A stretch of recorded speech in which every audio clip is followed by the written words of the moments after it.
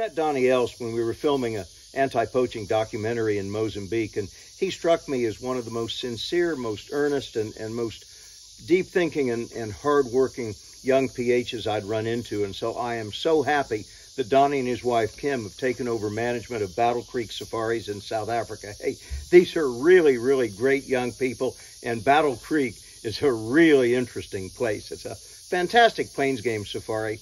Their hunting is really well thought out. You can start on foot directly from the villa with several different walking trails so you can poke your way along and hunt on foot or you can take the Land Cruiser and you can go to different points on the property and he's got hides set up on various ridges so you can glass animal movement from one ridge to the next. He's really thought this out, and that's what I like so much about this young man. He is a thinking hunter. Varieties and a, a great variety of game. Excellent uh, kudu, sable, waterbuck, wildebeest, uh, you know, the all the classic and great plains game species. And hey, their villa on Battle Creek is absolutely fantastic. It's a wonderful, wonderful place. Really awesome accommodation.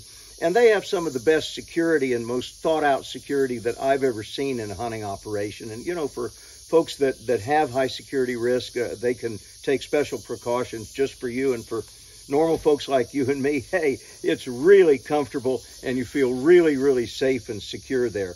It's very much a farm to table operation with great food, but they have their own butchery, cheesery, and egg production operation right there on the farm. Hey, both Donnie and Kim are really wonderful young people, and they're doing a great job at Battle Creek Safaris, and I am so happy to be able to endorse them. You go on an outfitted hunt, you're betting more than just your hard-earned cash. You're betting your vacation time, your safety, and your hunting dreams. You've got to get it right. There's a lot of ways to find a good outfitter, but a simple way is to go on my website, craigboddington.com, and take a look at our Craig Boddington Endorsed Outfitter program. Go on the website and you hook up directly with the outfitter. It's based on 40 years of hunting experience worldwide. My program's a group of outfitters that I believe in, and they believe in me. Hey, I know a good outfitter.